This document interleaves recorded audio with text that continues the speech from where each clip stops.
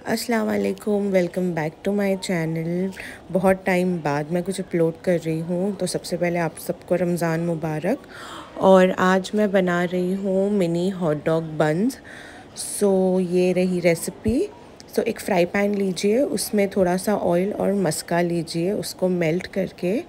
उसमें जैसे आप देख रहे हो, मैंने जिंजर गार्लिक चॉप करके और चिलीज़ चॉप करके सोटे कर लिए हैं।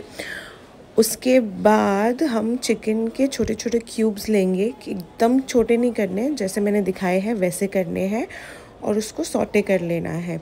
और ऑफ़ कोर्स चिकन पानी छोड़ेगा तो तब तक चिकन पक जाएगा। उसके अंदर हमें ऐड करना है अनियंस चॉप की हुई अनियंस मैंने एक ली है और एक छोटी कैप्सिकम लिए उसको भी बारीक चॉप कर लेना है।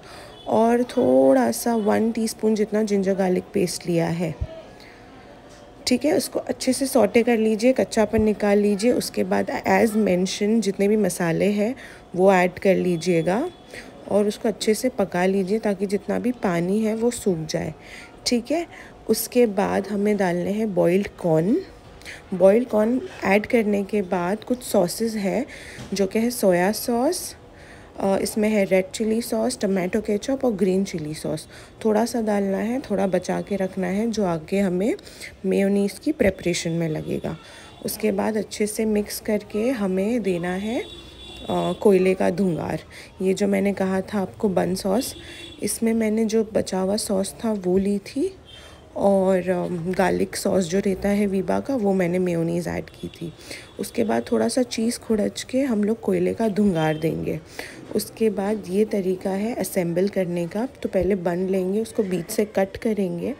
उसमें जो हमारा सॉस हमने तैयार किए थे, वो ऐड करेंगे लेटस ऐड करेंगे। उसके बाद फिलिंग फिल करके चीज़ सॉस ग्रेट करेंगे। एंड इसको हम लोग ओवन में बेक करने रखेंगे। आप लोग ऑप्शन में ऊपर से ऐड ऑन कर सकते हो। मैंने जैसे मिक्स हर्ब्स ऐड किए थे। और या दैट्स इट बन गए हमारे mini hot dog buns so do try and let me know कैसे बने हैं।